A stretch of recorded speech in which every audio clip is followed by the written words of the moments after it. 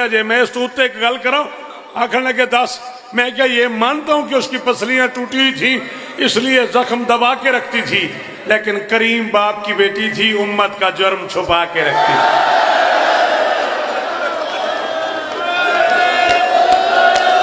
मातम मातम मातम, जैसे जनाजों पे होता है जिमें घरों जनाजा उठे, कोई हाथ ऐसा ना हो, जिसकी माँ शिया और वो हाथ न मारे। और मेरी धिया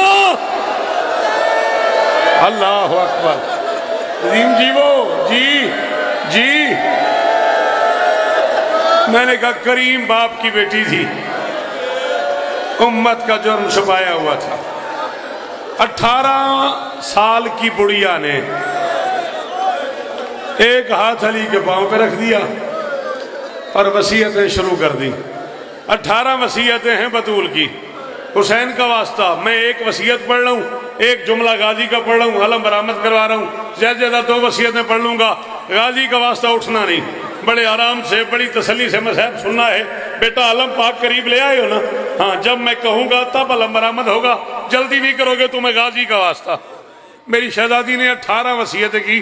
करते करते सातवीं वसीयत में बतूल ने कहा, आली, जिन्होंने मुझे मारा है, वो मेरे जनाजे में ना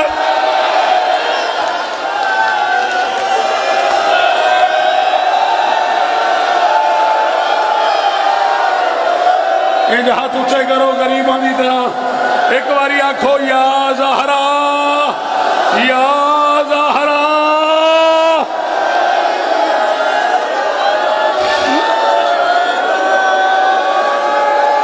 अल्लाह अकबर। अल्लाह, जल्दी नहीं, मैं पढ़ूँगा अभी जल्दी नहीं। मोहम्मद की बेटी ने कहा अली जिन्होंने मुझे मारा है ना, मेरे जनाजे पे ना है अली ने कहा, बतूल, अगर आ जाए तो मोहम्मद की बेटी ने कहा अली, उन्हें मेरा जनाजा ना पढ़ने देना। और मेरिया धिया सज्जे खबे धिया बैठिया ने, उत्ते अगर धिया बैठिया ने, मेरी बेटियाँ, तुम्हें बतूल की गुर्बत की कसम है। ये बात मर्दों को समझ नहीं आनी, बेटा, तुम मातम करना। मोहम्मद की जख्मी बेटी को राज़ी करना, इन्हें समझ नहीं आ रही मोहम्मद की बेटी ने कहने या अली, उन्हें मेरा जनाजा ना पढ़ने देना। अली ने कहा, बतूल, तेरे बाप ने बड़े बड़े लोगों को माफ़ कर दिया। लोगों ने ताइफ में पत्थर मार के लहू लुहान कर दिया।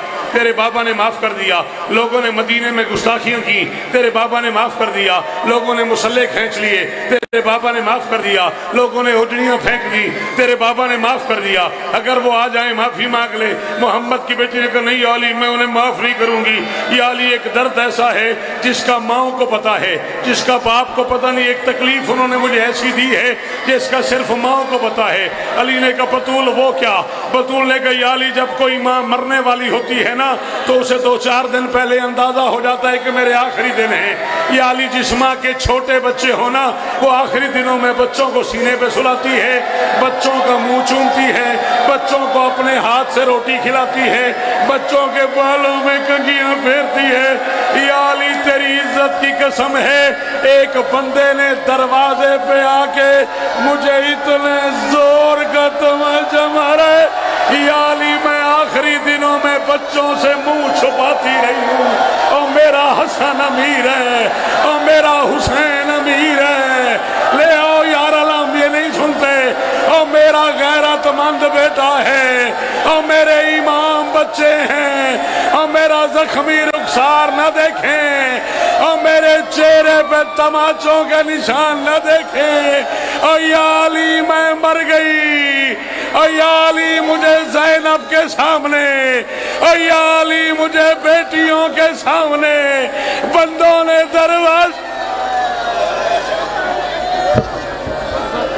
ताबूत फातिमा पे फिजा की दुहाई।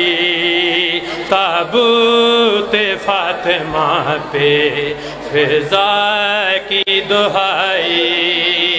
ताबूत फातिमा पे